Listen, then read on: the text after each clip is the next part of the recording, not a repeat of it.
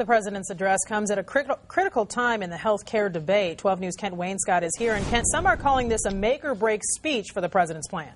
Yeah, that's right. This address comes just as members of Congress are returning to Washington after spending the past month or so in their home districts hearing from their constituents.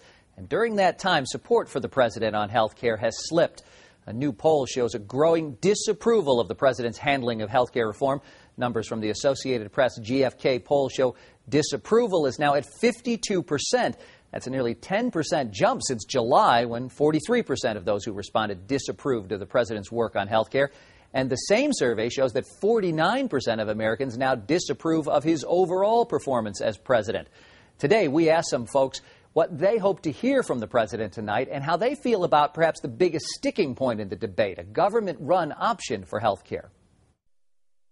I think that Barack Obama basically needs to let Congress understand that this isn't something that Americans can just do on their own and that it needs to be more government funded and there needs to be an easy, accessible way for us to all acquire health care. We've spent a whole lot of money in this administration, and uh, do we have the ability to uh, spend more?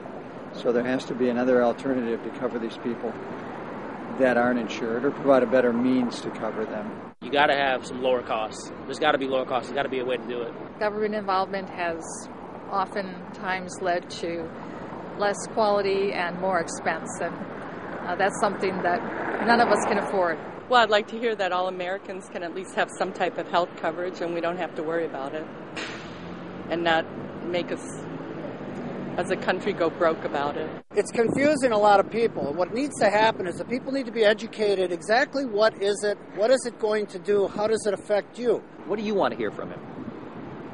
Benefits, what the benefits are, and obviously you want to hear what the cons are, but just the benefits. Just show people that it's needed, it's necessary.